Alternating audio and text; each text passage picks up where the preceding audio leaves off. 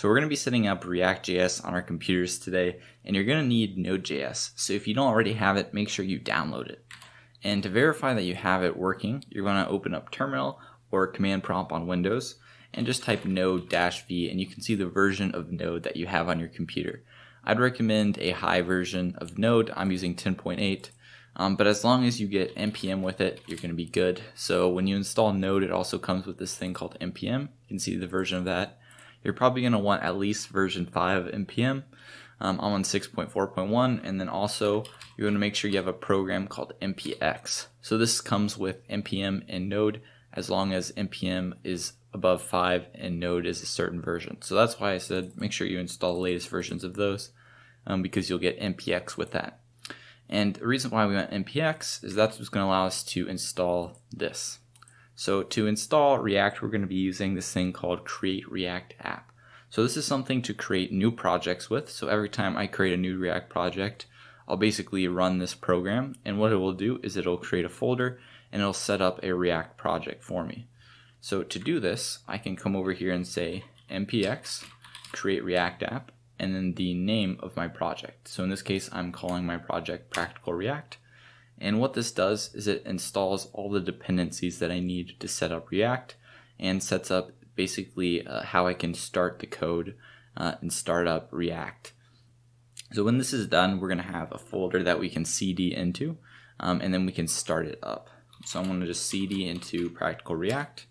And now I want to open this in my favorite code editor. I would recommend using Visual Studio Code for this.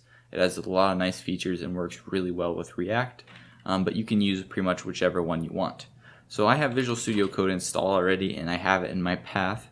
So I can just do code and then a period and it'll open up the folder that I'm in.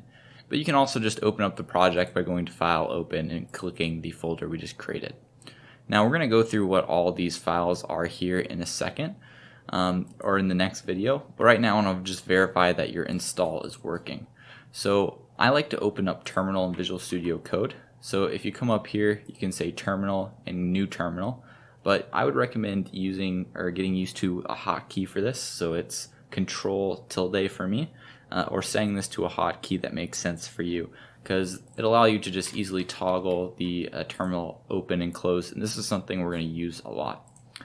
All right, so, and by the way, this is equivalent to just doing it in our terminal over here, um, but this allows us to stay in Visual Studio Code.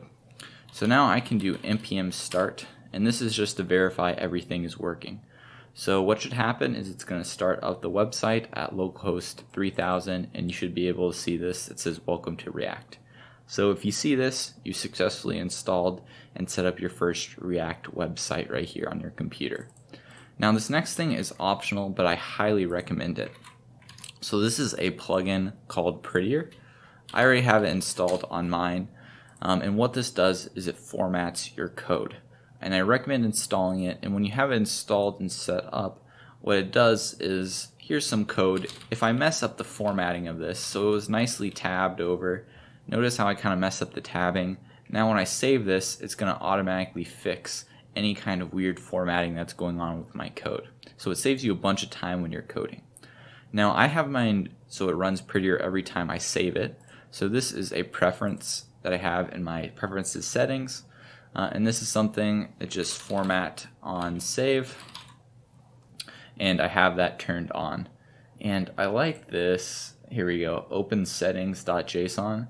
I prefer this view. The uh, Visual Studio Code is have multiple views for viewing your settings. And so you can see here's my settings right here. And we can see editor.format on save is true.